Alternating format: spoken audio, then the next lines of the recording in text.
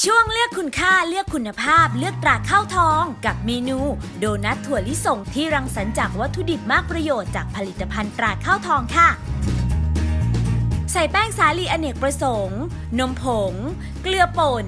ยีสต์แห้ง และน้ำตาลทรายลงในอ่างตี เปิดเครื่องนวดผสมพอเข้ากัน เติมไข่ไก่ น้ำเย็นและเนยสด นวดต่อจนกระทั่งก้อนโดเนียน นานประมาณ 10 นาทีค่ะ ใส่ถั่วลิสงดิบล้อเปลือกตราข้าวทอง อบสุกสับหยาบ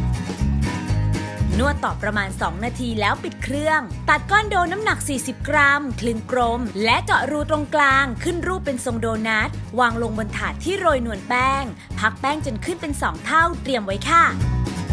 ใส่น้ำตาลไอซิ่ง เนยขาวและน้ำลงในภาชนะนำขึ้นตั้งไฟ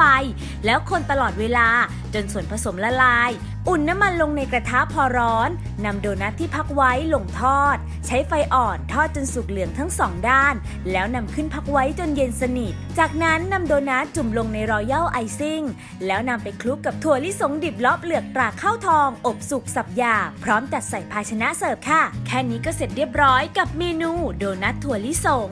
ครั้งหน้าผลิตภัณฑ์ตราข้าวทอง จะมีเมนูอร่อยเมนูใดมาฝากกัน ก็ต้องรอติดตามกันนะคะสำหรับวันนี้สวัสดีค่ะ